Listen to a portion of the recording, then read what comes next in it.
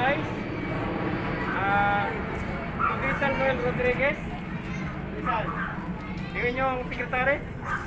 Mr. Vargas.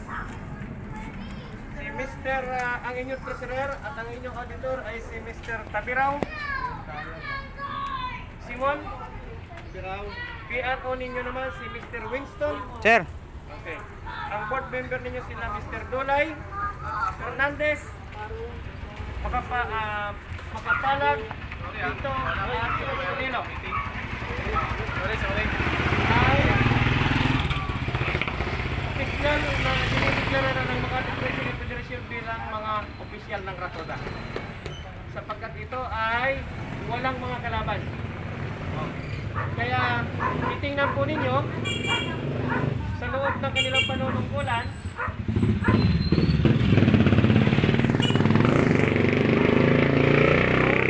magagampanan na nila yung kanilang tungkulin. Okay? Para sa susunod na halalan, pwede kayo naman ang tumakbo. Okay?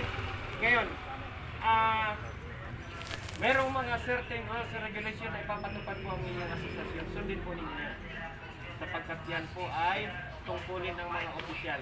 At ang mga opisyal naman, gumawa kayo ng mga resolusyon kung saan makakabuti po sa inyong samahan. Ang kailangan lang na sa tuwing pagpupulong ay umatin kayo para alam nyo kung ano ang kalakaran. Okay? Sa tuwing ah, pagpupulong, dinideklara ng inyong mga opisyal yung pong inyong financial statement o yung kalagayan po ng inyong financial at saka kung ano-ano ng mga patakaran. Okay? So, ah, anuhin po ninyo.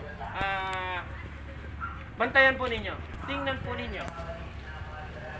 Ano man ang puna ninyo sa mga opisyal, idaan po ninyo sa mga meeting. Huwag po yung nakapihan. Dismiss ninyo yung mga opisyal.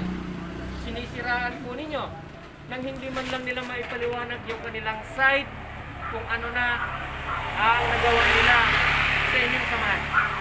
Okay? Mahalaga na talagang umatin kayo ng inyong pagpupulong lagi. Lag- Bigyan ninyo ng oras para mapag-usapan yung mga hindi pagkakaintindihan. Kasi ah, may mga katwiran ang mga opisyal kung bakit nila ginawa yun. O eh, minsan, tinitira ninyo nang hindi man lang sila nakapagpaliwanag. Okay?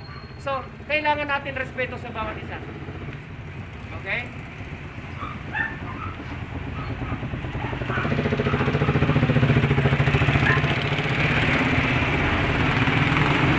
Tagaan muna natin kay ang susunod, doon tayo sa mga nagtatagito. So, respeto ho ang importante sa samahan. Maging membro, maging opisyal. Alalahanin po ninyo lagi ha, hindi sila nag-opisyal para kayo ay abusuhin. Sila ay nag-opisyal para pangalagaan yung inyong pong karapatan under Article 5, Section 2, which is the right of members, lima po yun. Ha? Ano-ano po yung mga karapatan ninyo? Karapatang bumoto, karapatang pumili ng mga opisyal, karapatang umatin ng meeting, karapatang makipagbalitaktakan sa anumang mga halagang issue ng inyong samahan. At ang karapatan ninyong tumingin ng record, financial o anumang record na gusto ninyong tingnan, karapatan po ninyo. At saka yung pag-avail kung anuman ang mga pasilidad meron kayo. Yun po ang tandaan ninyo. Bukod sa inyong karapatan, mayroon din po kayong mga responsibilidad. Ano yung responsibilidad ninyo? Tatatlo lamang po. Ito, Una, ito yung dokumentaryo. kaya kailangan malaman ninyo. Ito yung mga gusto yung dokumentaryo, eh, video. Sapagkat ginagarantiyahan na yung video karapatan, ginagarantiyahan din yung mga responsibilidad ninyo. Okay? Ito yung una. Eh, kailangan daw matin kayo ng mga pagpupulong. Ha? Talagang ah, kailangan. Pangalawa, the members should follow rules and regulations that the association may be promulgated from time to time. Sumunod kayo kung ano yung mga nagawa nilang mga kasunduan. Sunod po ninyo. At ang pinakahuli ang importante, magbayad daw kayo ng mga pinagkasunduang bayaran. Ano-ano po yung mga bayaran na yun? Meron kayong butaw, di ba? Meron kayong renewal. Di ba? Oh. Ito ang tip ko sa mga board members. Huwag kayong gumawa ng resolusyon patungkol sa butaw.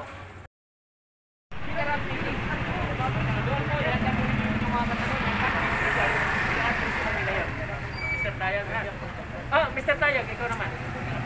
Ito, ah, ito first time pa lang natin yung transition from Nora sa bagong kumpletong officer. So, ngayon pa lang ito, kaya kailangan namin ng participation nyo ng pangunawa nyo na first time pa lang. Ngayon pa lang kayo magkakaroon ng general meeting.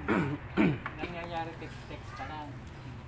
Dadaan kayo dyan sa pilahan, official pilahan natin sa Ratoda dito sa Amarillo. Papaskill kami dyan ng mga bulletin, ng mga impormasyon na pwede nyo malaman kung may general meeting tayo, meron tayong bagong announcement. Pagkatapos, magsiset tayo ng date. Inaayos pa namin yung venue. First time ako rin, first time ko rin ang ano eh. Ang venue. So magtulungan tayo, huwag tayo nga magmadali, kasi dahan-dahan ito. Iaayos natin yung toda, may mga programa dyan. Kaya kasi kami, iba-iba tayo ng pinahan, kaya hindi tayo nagkikita. Oo nga boss eh. Kung diyan tayo sama-sama, Hindi tayo kaya magkano sila nito? Gratuita, nasa mahigit sandaan yata eh. Correct, tama ka dyan. Pero ngayon pa lang tayo mag-uumpisa, kaya wala pa, nag-uumpisa pa lang tayo. Yun nga yung Yung sinasabi nila lahat ng mga hindi pagka na nasa upload, dapat tanggalin na. Burahin na yung Ah, mga... huwag kayong mamamasada.